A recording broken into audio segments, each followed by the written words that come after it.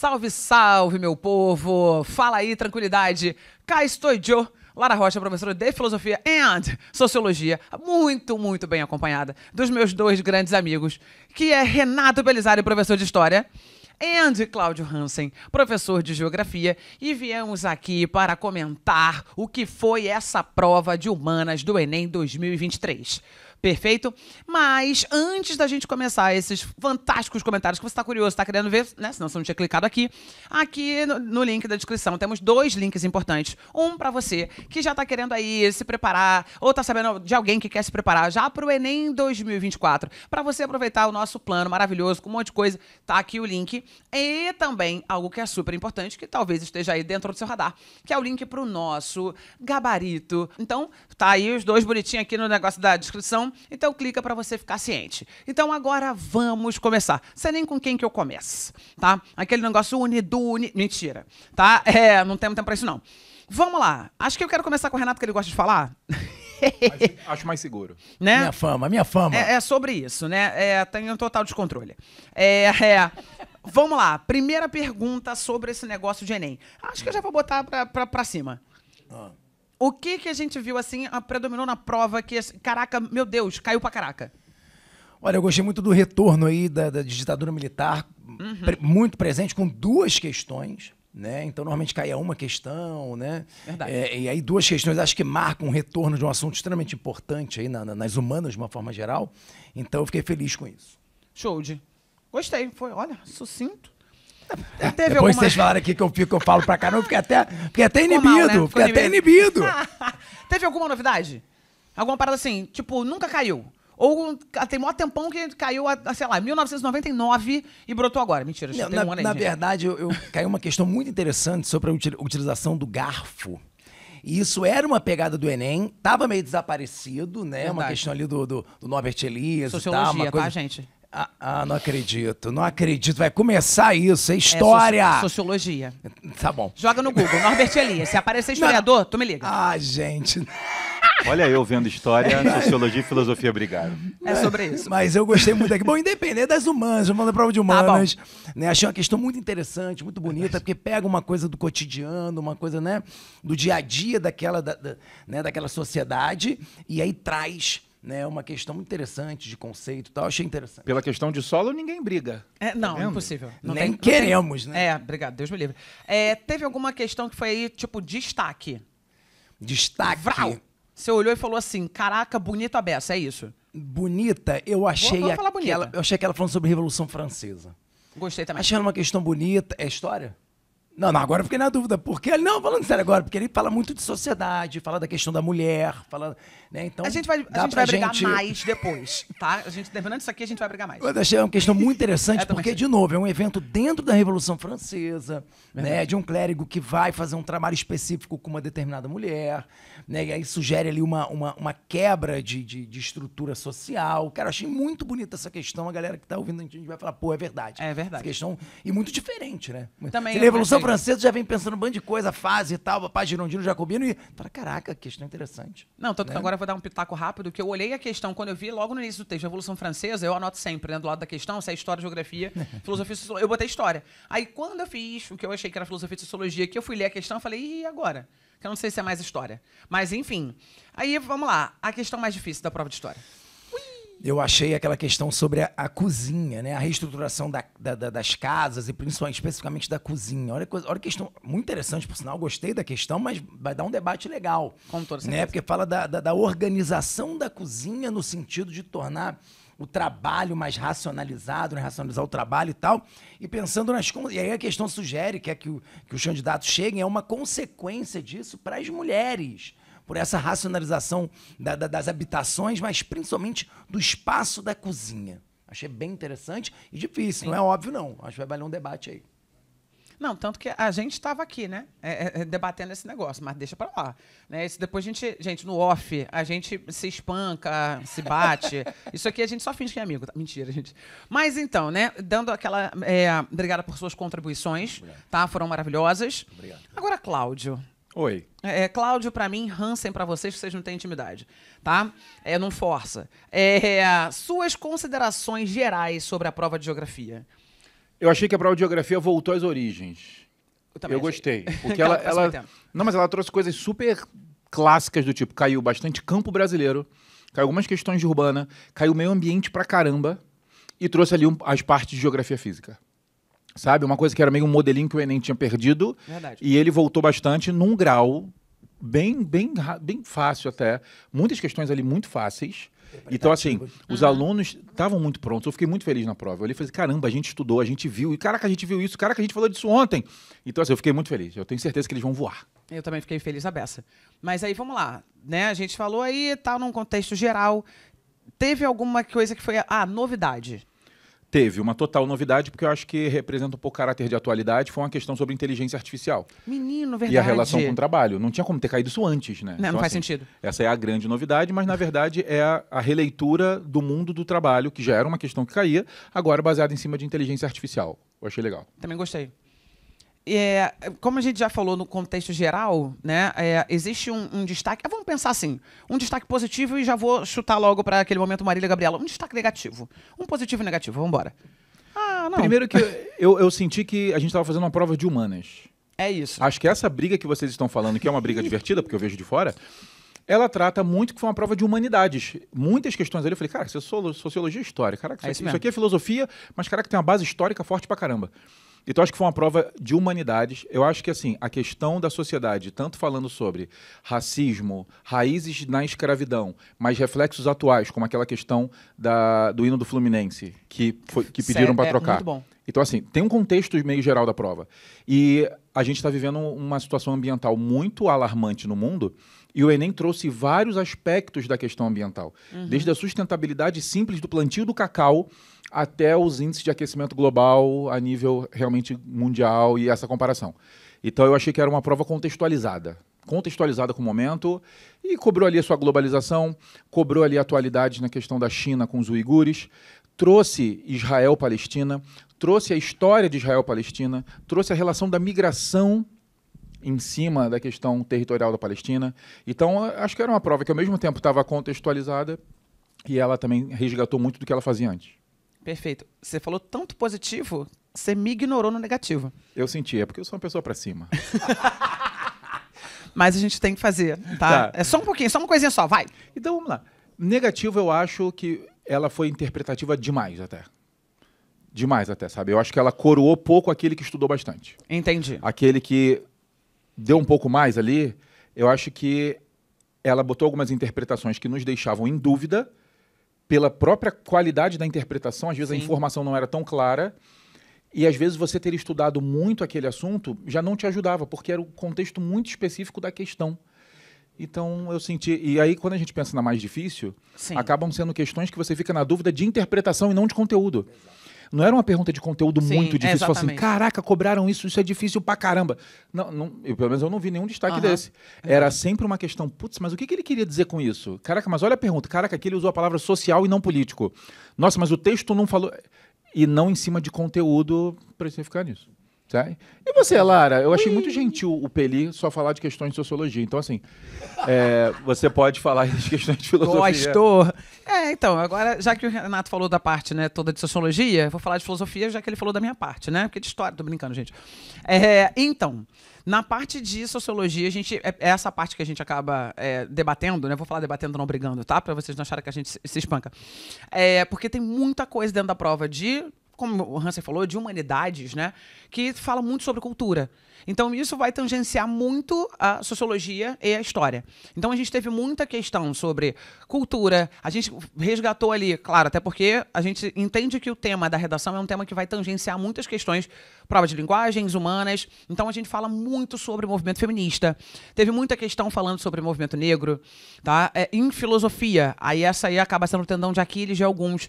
A gente teve alguns textos que até o Hansen estava falando comigo aqui no off, tá? Antes da gente começar esse momento fantástico com vocês, é que os textos dos autores da filosofia não estavam bacanas. Já Tava aqueles textos que, tipo, você tinha que ler e reler, né? Porque não tava tranquilo pra gente interpretar e matar uma questão, né? O texto do Foucault, né? O texto, por exemplo, que aí é na minha né, sutil opinião, tá? Era um texto da, do Merleau-Ponty, adoro falar o nome dele, mas era um texto dele e o enunciado da questão te pedia uma concepção do Descartes. Para mim, essa questão foi talvez a mais difícil da prova. Porque a gente vai no pensamento cartesiano pensando racionalismo, racionalismo, racionalismo, e não era uma resposta que estava tão clara assim na questão. Então, para mim, ela foi a mais tensa da prova. Eu achei, filo Ah. achei filosofia mais teórica, no sentido de con- conteudista. Perfeito. Achei filosofia a mais conteudista de todas hoje. É sobre isso. acontecendo em alguns anos. Há alguns né? anos, é, já não é surpresa. E aí, vamos lá, né? É, A gente já deu aqui aquele clássico momento da prova, né? A gente já, tá, já deu aqui as nossas lamúrias, falamos do que foi a prova, a gente já chegou aqui para mostrar para que viemos. E aí, a gente não pode esquecer, tá? Tudo isso aqui tem um objetivo e nós temos o tal do gabarito, tá? Que vai... Gente, o link já tá aqui, eu já tinha falado dele. Tá aqui no negócio da descrição, né? Eu aponto, sei por quê, porque eu não sei se tá aqui embaixo mesmo, mas enfim, eu finjo que tá. Tá? Então, temos gabarito. Então, não perca esse momento se você quer estar inteirado no gabarito da nossa prova do Enem 2023. E é isso. E olha só, gente, óbvio que vocês devem estar muito ansiosos de ouvir a nossa perspectiva sobre humanas, mas vocês querem saber da Óbvio. redação. No final, eles querem saber, eu entendo, tá tudo bem. Então acompanhe nossa live, acompanhe nosso gabarito. E eu quero saber do Rafa, o que, que ele achou? Tá? Lembrando que você acha todos os links na nossa descrição, os planos com descontos assim, que você não vai achar em nenhum outro lugar, também estão aqui. Então você que vai fazer Enem ano que vem, pega esse link da descrição para pegar o plano com desconto e não deixe de assistir agora o próximo conteúdo. Rafa, o que, como é que foi essa redação? O que, que você achou, rapaz? Olá, pessoal! Então, primeiro dia de provas realizado com muitos acontecimentos, né? Prova de redação, prova de linguagens, prova de humanas. E nós estamos aqui, eu e Beta Panza, para falarmos justamente sobre a prova de redação, não é, Betinha? Exatamente, para comentar um pouquinho esse tema, né? Essa frase tema. É, pessoal, e uma coisa super importante é a frase tema, quer dizer, o tema trouxe uma temática super relevante, super é, destacável socialmente. É, é de interesse de todos resolver as grandes problemáticas da sociedade. Só que eu acho que o Enem teve algum, alguns caminhos que deveriam, po- poderiam ser um pouquinho mais fáceis para os nossos alunos. Na verdade, para os nossos alunos, eu até acredito que tenham sido mais fáceis porque eles praticaram pra caramba ao longo desse ano. Afinal de contas, quando a gente oferece um plano como o Blacktop, ou Blacktop Med, que tem. O Blacktop Med tem 10 redações por mês. Você pode fazer uma redação a cada 3 dias. Se você ficar 12 meses com a gente, você vai fazer 120 redações. Você vai ter essas redações corrigidas com é, a- a- de acordo com a banca do Enem, podendo chegar até a tão sonhada nota mil. A nota mil não é regra, a nota mil é exceção. Mas eu entendo que, é, apesar de algumas cascas de banana que o Enem costuma colocar, os nossos alunos tenham se dado muito, muito, muito bem. É, ah, e se você quiser saber mais sobre esses planos, dá uma olhadinha no nosso link da descrição e vem com a gente. Betinha, vamos falar sobre essa tal frase tema? Então, é uma casca de banana, não é? É. É uma frase tema muito longa e com muitas possibilidades, né? Ele fala de desafios, ele fala de enfrentamento, ele fala de valorização, invi- visibilização, né? Que ele vai falar da invisibilização, do- da invisibilidade ligada ao trabalho de cuidado da mulher. Então é muita coisa. São Na muitas, brasileira, é, ainda, que essa são muitas aspas, são esperada. muitos pedacinhos, né? A gente imaginava que seria Brasil, como o Rafa falou, é um tema muito atual, só que a maneira como a frase tema foi colocada, o aluno tinha que ter muito cuidado para não escorregar, porque ele tinha que falar de por que, que é tão difícil enfrentar a falta de visibilidade desse tipo de trabalho que até pelos textos de apoio ficava claro que, que são os trabalhos domésticos, mas o aluno tinha que ter muito cuidado na leitura da frase tema. Era para mim a parte mais, mais complexa do, do tema mesmo. Isso, pessoal. E embora a gente esteja falando da leitura da frase tema, é claro que essa leitura, se bem feita, ela vai se materializar na, na, na prova Sim. propriamente dita. E sendo feita de forma pouco adequada, também vai se materializar na prova de uma forma negativa. Então, quando eu estava. Eu sempre eu, eu faço a prova, né? Eu, eu fico focado na prova de linguagens, mas eu faço uma espécie de mini rascunho, não chega a ser nem um rascunho completo, eu faço uma espécie de brainstorming. E eu, eu mesmo percebi que eu estava com alguma dificuldade. Peraí, eu vou falar da visibilidade, É isso. eu vou falar da tare... do, do trabalho de cuidado, eu vou falar do trabalho de cuidado com o recorte da mulher, ou vou tirar o recorte da mulher porque o tinha- trabalho de cuidado é amplo. Exatamente. E, e aí eu percebi que isso era um elemento é, de fricção. Né? Quando eu falo fricção, é caramba, eu tenho que tomar uma decisão aqui e eu não sei se eu vou agradar a banca com essa decisão. E aí, pessoal, é, é, eu até queria falar um pouquinho para vocês que normalmente, quando historicamente, quando a banca do Enem é, o INEP, né, coloca um tema que traz uma série de dúvidas, eles costumam ser bastante tolerantes. Me corrija até se eu estiver errado. Sim, eles são Betinho. mais benevolentes quando eles percebem que a frase é mais complexa, bem como foi 2018, por exemplo. Porque o Qual que mais foi me 2018? foi Eu sempre esqueço a, a ordem. a manipulação do comportamento do usuário pelo Nossa. controle de dados na internet, que eram 50 coisas que você tinha que pensar piores temas da pra história. escrever. e eu acho que esse ano tem muito isso, porque se você não, não lembra da palavra enfrentamento, se não vem à sua cabeça o enfrentamento, traz a ideia do combate. E ele pede pra você problematizar isso, porque ele fala dos desafios do enfrentamento. De enfrentar o quê? A falta de visibilidade de um tipo de trabalho, que é o que ele chama de trabalho de cuidado.